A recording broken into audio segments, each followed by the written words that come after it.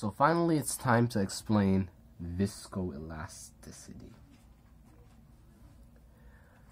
Okay, so mechanical properties of biological tissue, polymers, and uh, other uh, mater materials inside the body depend uh, on time. So the, the rate at which you try to apply the force is also a factor, not just the stress that you applied or the strain that uh, it forms.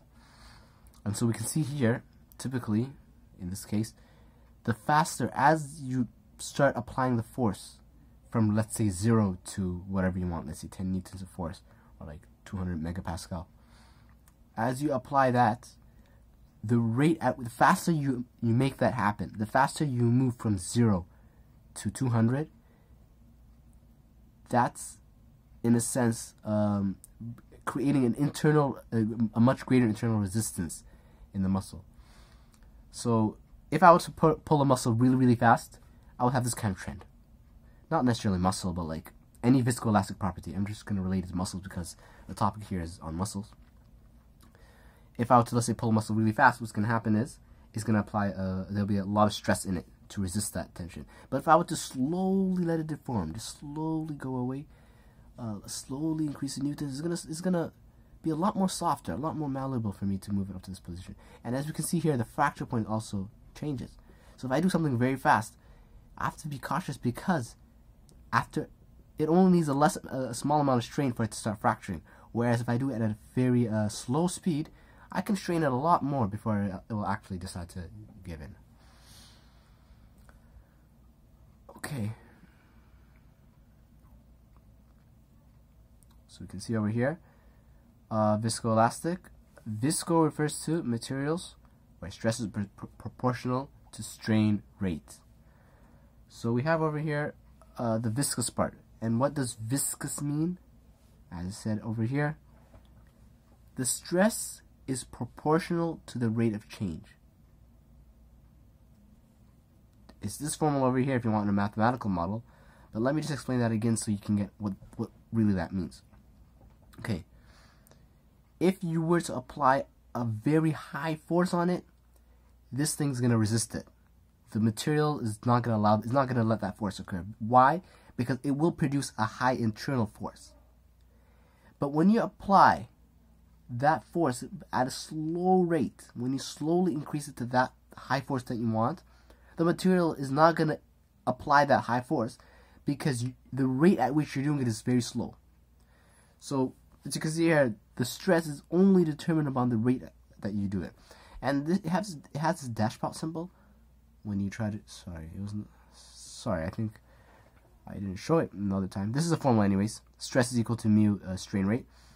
And it has this dashpot symbol which basically you can think about it as like this being like a, a, closed cylinder and this is a piston. And uh, they have some kind of fluid in here. And if you were to if you were to push on it it would slowly deform and slowly give to the shape it is but the rate at which you do it will always matter. Okay. Uh, so then what's the elastic part of viscoelastic? Well, that refers to uh, materials where stress is proportional to strain. Stress is proportional to strain. That is Hooke's law, we, we've seen before. Uh, Hooke's law in terms of springs.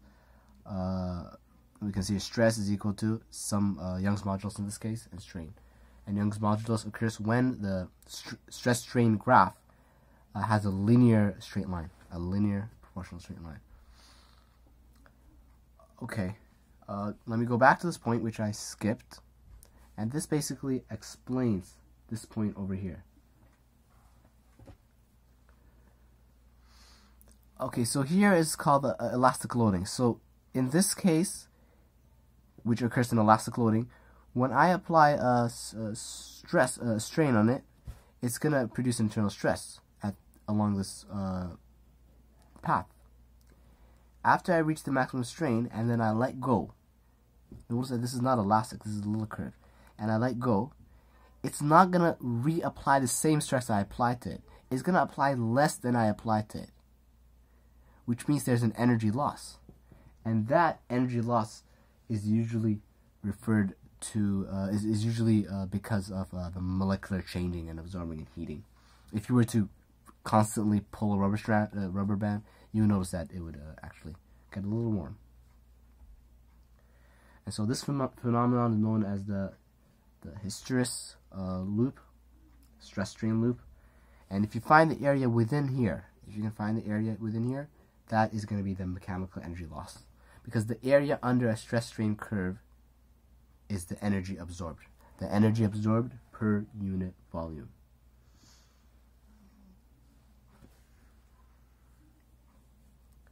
Okay, so now we're going to go into the relationship. How, how do we combine an elastic uh, phenomenon in a material with with a viscous uh, property, and how and then how did we get about a viscoelastic? How do we explain it mathematically? We're going to say Maxwell is going to say here this um, a visco viscoelastic material may have this property. It may have a property that is elastic but also viscous at the same time. It's both of them in series. And the equation, when you derive it mathematically, you're going to get the coefficient of uh, the um, co coefficient here, mu, uh, divided uh, times the strain, uh, stress rate, the change of uh, stress with respect to time, plus the modulus over stress is equal to modulus of elasticity times stress is equal to modulus of elasticity times the coefficient over here times the strain rate. Okay. Kelvin now came up with his own, uh, a different form that you can relate a visco viscoelastic. This is another form, another uh, scenario for viscoelastic material, where the it is elastic but also but also viscous at the same time in, in, in a parallel fashion. And that relationship will simply be the addition of the two, elastic and viscous at the same time. If you look at here the elongation with respect to time, this strain with respect to time, you're going to get this formula out. You can derive this formula by uh, keeping uh, solving, by setting the stress as a constant. So you, you can say over here, you know, let me assume, uh, let me assume the stress is going to be uh, constant, which means then the derivative of this would be zero.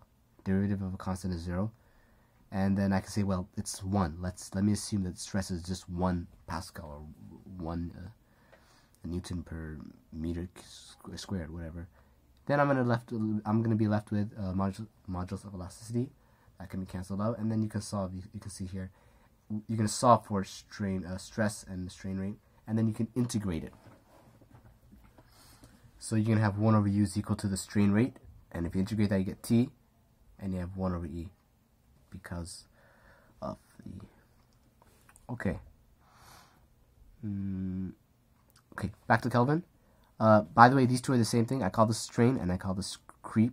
They're both the same thing because creep is strain which depends only on time so this strain which depends on time is creep which, which depends on time if you solve for Kelvin you get the same thing as this one I just put the values of uh, tau over here uh, just uh, because of, there's no space over there.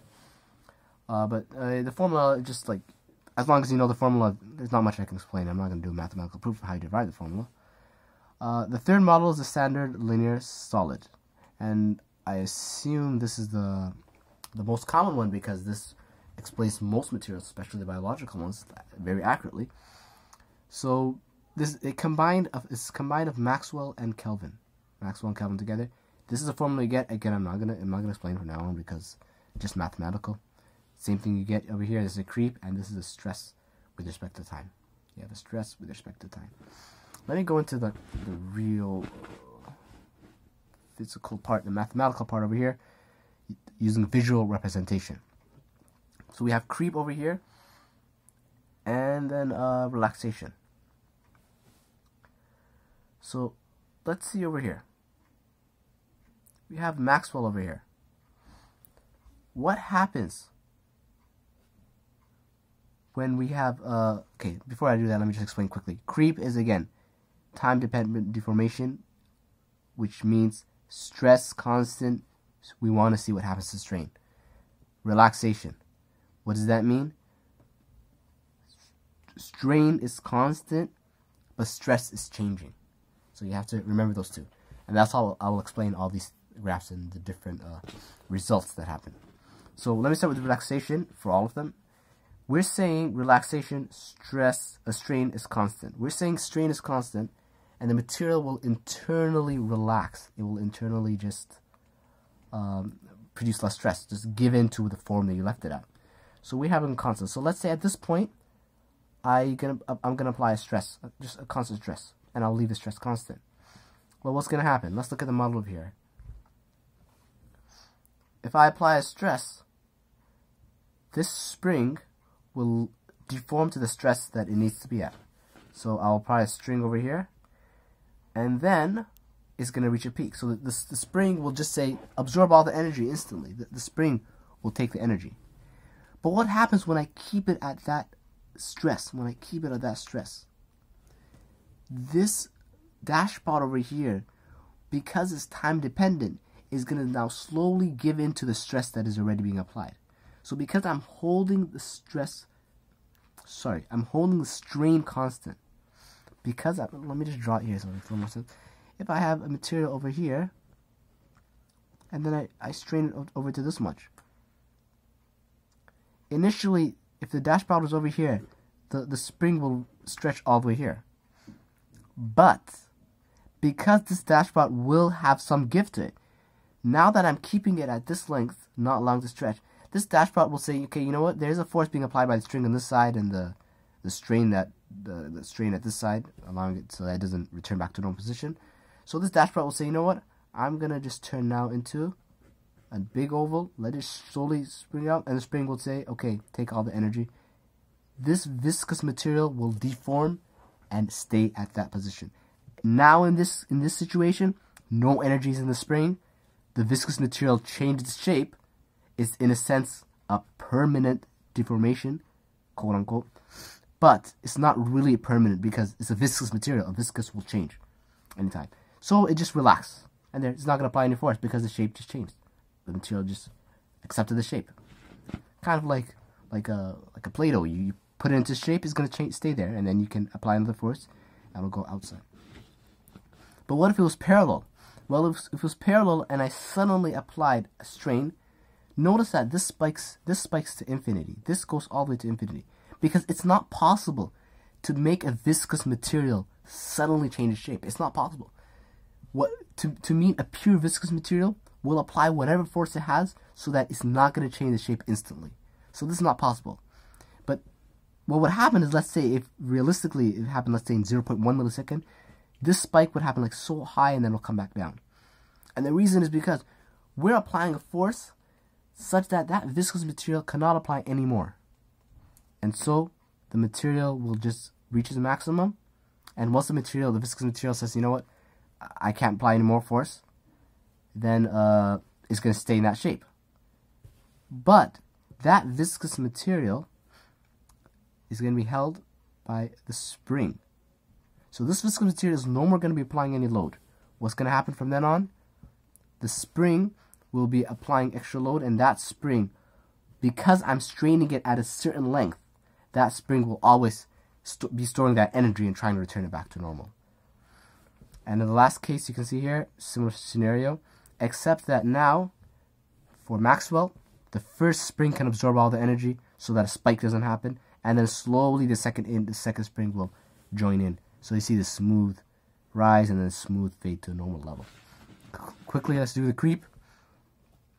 If now we're trying to keep the stress uh, strain constant, we're going to keep the uh, sorry, we're keeping the stress constant. So if we were to keep the stress constant, then what's going to happen? As soon as we apply force, everything will go into the spring. But because we're keeping a stress constant, this material will slowly, slowly deform It will slowly change shape. As long as I'm increasing the, um, as long as I'm keeping stress, this material will slowly change shape, and it will keep on going on. It will keep on changing shape until it's it, it, it's like physically impossible for it to change anymore. Once that once that situation occurs, then another uh, phenom- phenomenon will, happen. But the point is, we're gonna turn it off at a certain point and say, okay, now we're gonna leave you as it is. We're not applying any stress. Well, what's gonna happen? once the stress stops, the spring will release all its energy, but not the viscous material because it's already straining that much. So what's gonna happen? It's slowly gonna it's just gonna remain in that strain. It's gonna be strained this much. That viscous material is like that Play-Doh. You stretch it, and then until until you don't apply the force. But if you don't once you don't apply the force, it will just stay there. The elastic material will just drop in right away. Quickly to the Kelvin. What's gonna happen now? We're applying a parallel, uh, a constant force.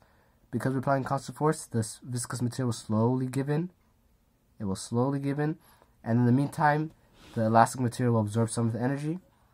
And then when it dies out, once you stop the stress, the elastic material will just drop it down.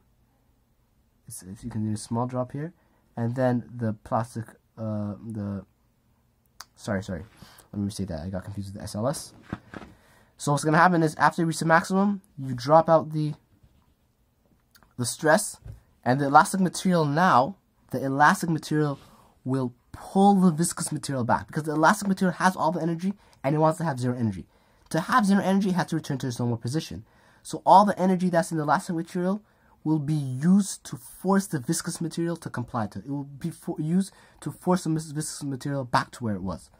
So a force was used to deform it, and the spring will say, you know what, I'll return you back with this force that I have absorbed. And so for SLS, you can explain the same thing.